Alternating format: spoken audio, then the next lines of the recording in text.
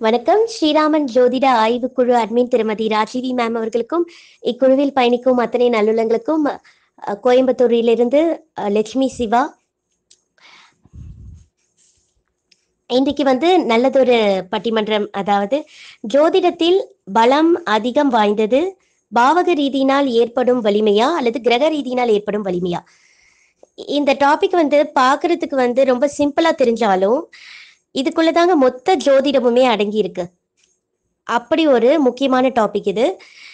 இந்த பட்டிமன்றத்தை தொகுத்து வழங்குபவர் திரு சுப்பிரமணியம் ஓதுவாரையா அவர்கள்.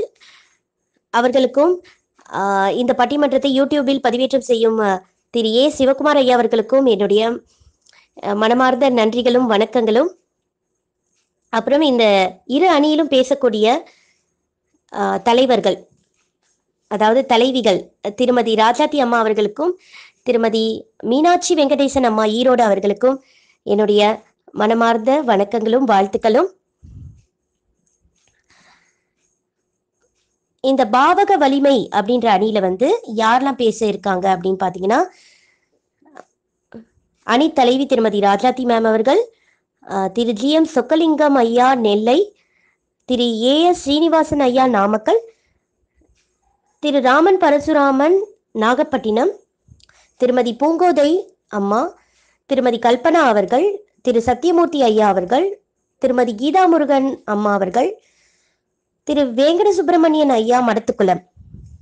அடுத்தது கிரக வலிமை அப்படின்ற அணியில வந்து அணித்தலைவி திருமதி மீனாட்சி வெங்கடேசன் ஈரோடு அவர்களோடு இணைந்து திரு கண்ணன் சுவாமிகள் மதுரை திருமதி ரேவதி பிரபாகரன் கோவை திரு உமா மகேஸ்வரன் அவர்கள் திண்டுக்கல் திரு எஸ் ஆர் முத்துசாமி அவர்கள் தர்மபுரி திருமதி சரோஜினி அவர்கள் திரு மணிபாலன் அவர்கள் பாண்டூர் திரு சிவசத்தியமூர்த்தி ஐயா அவர்கள் திரு சரவணன் அவர்கள் பாண்டிச்சேரி.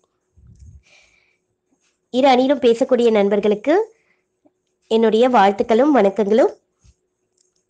இந்த தலைப்பை பற்றி ஒரு சின்ன விளக்கம் கொடுக்கலாம் அப்படின்னு இருக்கேன்.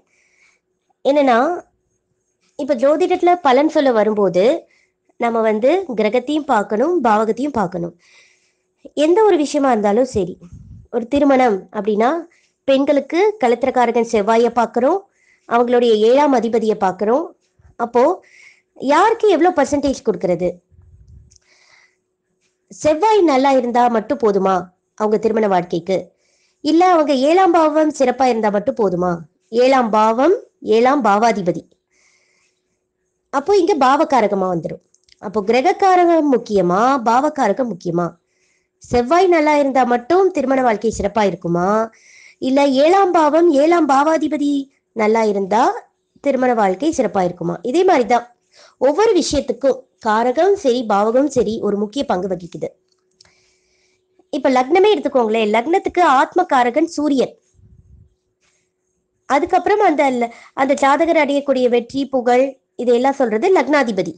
அப்போ நம்ம இங்க சூரியனை பார்க்கணுமா? லக்னாதிபதியை பார்க்கணுமா? லக்னம் நின்ற நட்சத்திராதிபதியை பார்க்கணுமா? இப்படின்லாம் கேள்வி எழும் இல்லையா? ஒவ்வொரு பாவத்திலையுமே நிறைய காரகத்துவங்கள் இருக்கு. இப்போ மூன்றாம் பாவம் எடுத்துக்கிட்டீங்கன்னா சகோதரம் வீரியம் எதிராளியுடைய நிலை தொழிலில் ஏற்படும் பிரச்சனை. இந்த மாதிரிலாம் நிறைய காரகத்துவங்கள் இருக்கு.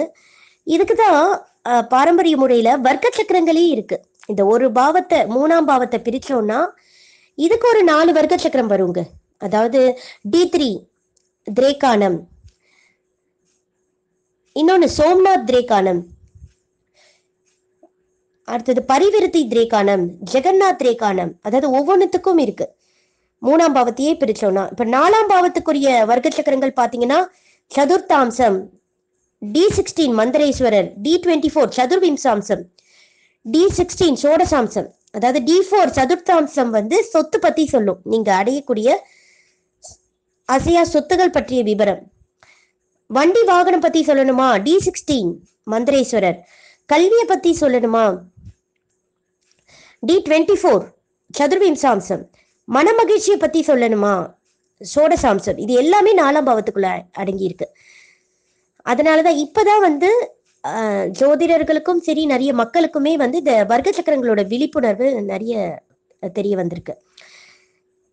ஸோ அந்த மாதிரி ஒரு பாவத்துக்குள்ளேயே அவ்வளோ டிவிஷனல் சார்ட் அடங்கியிருக்கு. அப்போ அப்போ பாவகாரகத்துவங்கள் அப்படின்றது நிறைய இருக்கு. இப்போ ஒருத்தருக்கு வந்து இரண்டாம் பாவம் கெட்டு இருக்கு அப்படின்னு வச்சுக்கோங்களேன். இரண்டாம் பாவம் கெட்டிருக்குன்னா இரண்டாம் பாவத்துக்குள்ள நிறைய காரகங்கள் இருக்கு. தனம் இருக்கு அடிப்படை கல்வி இருக்கு பொருளாதார அதான் தனமும் பொருளாதாரம் எல்லாம் ஒண்ணுதான். தனம் அடிப்படை கல்வி குடும்பம் இது மாதிரி நிறைய இருக்கு. பேச்சு வாக்குவன்மை இது எல்லாமே இருக்கு. இப்போ இந்த பாவகாரகத்தோட கிரக காரகத்தை லிங்க் பண்ணி பாருங்க. இப்ப இரண்டாம் பாவமும் கெட்டு புதனும் கெட்டிருந்தால் ஏன்னா புதன் பேச்சுக்கு காரகன் இல்லையா? இது ரெண்டுமே கெட்டிருந்தாதான் அவருக்கு வந்து வாக்கு வன்மை திக்கி திக்கி பேசுவாரு. பேச்சு பேச்சு திறன் குறைவா இருக்கு அப்படின்னு நம்ம சொல்லணும். ஏன்னா ஒரு பாவத்துக்குள்ள பல காரகங்கள் இருக்கு. அது இப்ப ரெண்டாம் பாவமும் கெட்டு குருவும் கெட்டு இருந்தால் அப்போ அவருக்கு பொருளாதாரத்துல பாதிப்பு அப்படி சொல்லணும். இரண்டாம் பாவமும் கெட்டு சுக்கிரன் கெட்டிருந்தால் ஏன்னா சுக்கிரன் நேத்திரத்துக்கானவர். கண் கண் பார்வைக்குரியவர். அப்போ அவருக்கு கண் பார்வையில கோளாறு. அந்த மாதிரி சொல்லணும். ஸோ நம்ம பாவகாரகத்தோட அந்த குறிப்பிட்ட கிரகம் குறிக்கும் அந்த காரகம் கெட்டிருந்தாதான் நம்ம ஒரு பர்டிகுலர் விஷயம் வந்து எப்படி இருக்குன்னு சொல்ல முடியும். இந்த மாதிரி பார்க்கும்போது கிரக காரகத்துவம் முக்கியம் பாவகாரகத்துவம் முக்கியம். தசாபுத்தியும் எடுத்துக்கோங்க. தசாபுத்தியில நம்ம என்ன பார்ப்போம்? காரகத்துக்கு முப்பத்தி மூணு பர்சன்டேஜ் பாவகத்துக்கு முப்பத்தி மூணு பர்சன்டேஜ் பாவ அதிபதிக்கு முப்பத்தி மூணு பர்சன்டேஜ் மூணுமே கொடுப்போம் இல்லையா? மூணுத்துக்குமே ஒரு பர்சன்டேஜ் ஒரு மார்க்ஸ் கொடுக்குறோம்.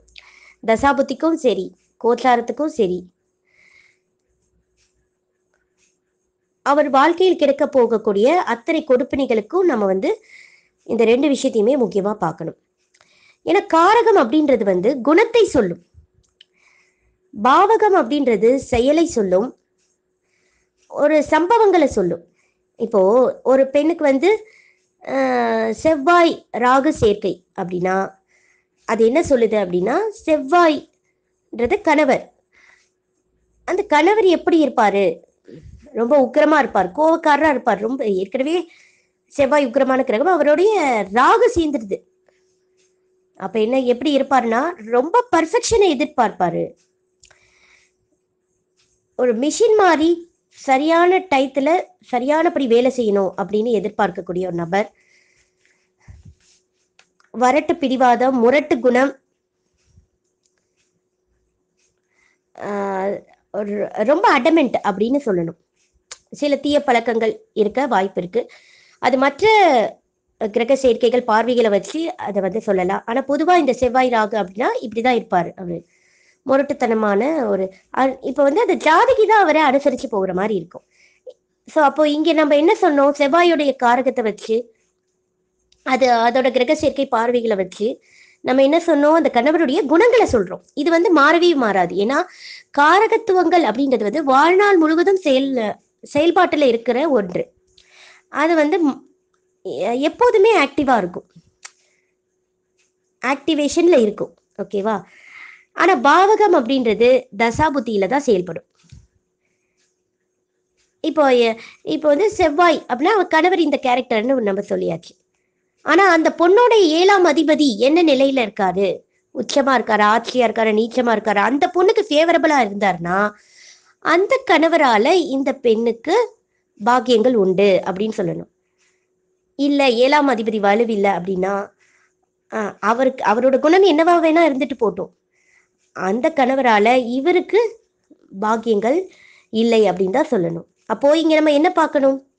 கணவரால நமக்கு கிடைக்க வேண்டிய விஷயங்கள் கிடைச்சா போதும் அப்படின்னு பாவகத்தை மட்டும் பார்க்குறதா?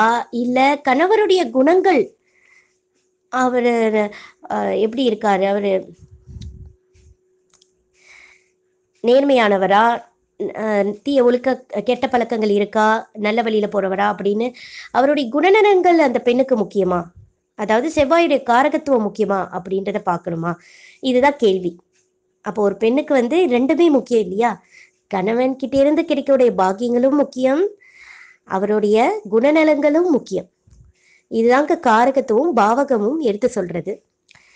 மெயினா பாத்தீங்கன்னா தசாபுத்தியில இந்த காரகத்தை விட பாவகமே அதிகமான செயல்பாட்டில் இருக்கும் வலிமை வாய்ந்ததா இருக்கும். ஏன்னா தசா அப்படின்னு ஒன்று தசா புத்தி காலங்களில் தான் அந்த அந்த பாவத்துடைய வலிமை அந்த பாவாதிபதியுடைய வேலைகள் நடக்கும். ஸோ அப்போ நம்ம அங்கே பாவகத்துக்கு அதிக வெயிட்டேஜ் கொடுக்குறோம். இப்போ ஒரு மருத்துவ ஜோதிடமே இருக்க எடுத்துக்கோங்க. கிரகங்களுக்கும் உறுப்புகள் கொடுத்துருக்காங்க. பாவத்துக்கும் உறுப்புகள் கொடுத்துருக்காங்க. அப்போ ஒரு நோய் வரும். எ- அப்படின்னா எந்த உடல் உறுப்பில் வரும்? எந்த காலத்தில் வரும்? அப்படின்னு சொல்றதுக்கு கிரகத்தை எடுத்துக்கிறதா? இல்லை பாவகத்தை எடுத்துக்கிறதா? இப்படி நிறைய கேள்விகள் இருக்கு. ஸோ இதை பற்றி நம்ம பேசலாம். உங்களுடைய அனைத்து பேச்சுகளையும் கேட்டு நான் பதில் அளித்து விட்டு விரைவில் தீர்ப்பு வழங்க முயற்சி செய்கிறேன். இந்த வாய்ப்பினை அளித்த திருமதி ராஜீவி மேம் அவர்களுக்கும் இக்குழுவில் பயணிக்கும் அத்தனை நல்லுள்ளங்களுக்கும் ராகுவின் புத்திரி லட்சுமி சிவாவின் அன்பான நன்றிகளும் வணக்கங்களும். நன்றி.